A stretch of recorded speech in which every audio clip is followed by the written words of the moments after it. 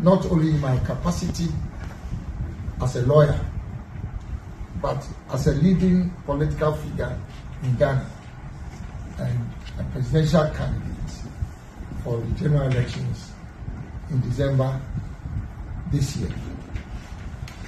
The current impasse between the Supreme Court and Parliament of Ghana, in my view, is unwarranted, unjustifiable, unproductive, and unhealthy for our fledgling democracy.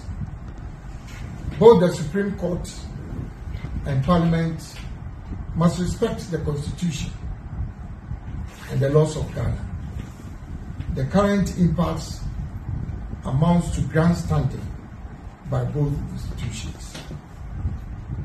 The concept of separation of powers and checks and balances between the various arms of government are two sides of the same coin and logically reinforce each other. This must provide the context for resolving the dispute between the Supreme Court and Parliament. So, first, let me start with the case in respect of the Supreme Court. The Supreme Court, in its ruling on the application of the leader of the NPP caucus in Parliament, Honorable Alexander Afenyo to reverse the ruling of the Speaker of Parliament on the status of the four members of Parliament was, and in my considered a very respectful opinion, unconstitutional and could be described as an abuse of the power of the Supreme Court under Article 130, subsection 1, to interpret provisions of the Constitution.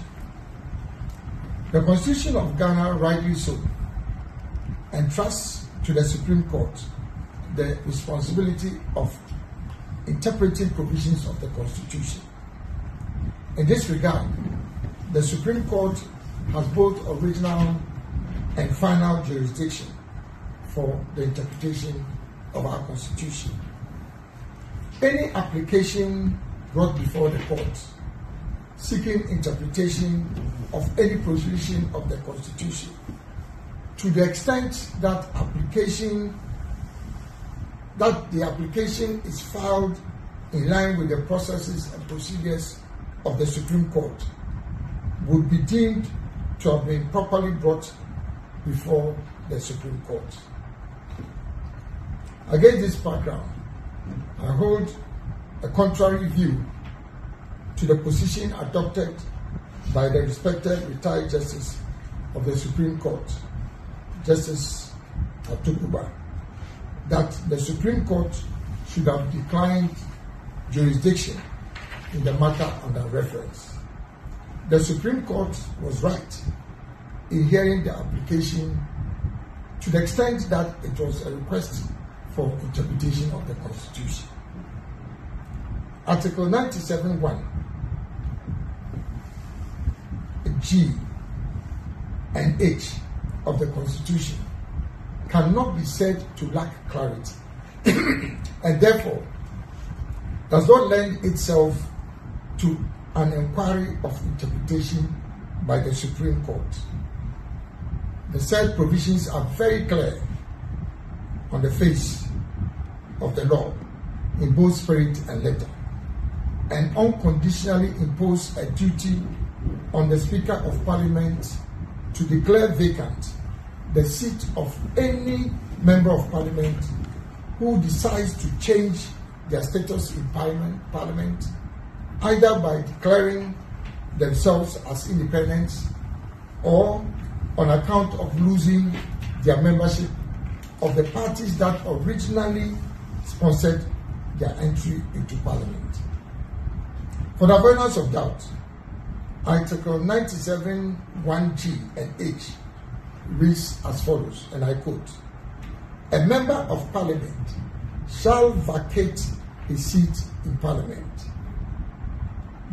if that's G, if he leaves the party of which he was a member at the time of his election to parliament to join another party or seeks to remain in parliament as an independent member. H. If he was elected a member of parliament as an independent candidate and subsequently seeks to join a political party. This is reference to both Article G and H of Article 97. It is obvious from the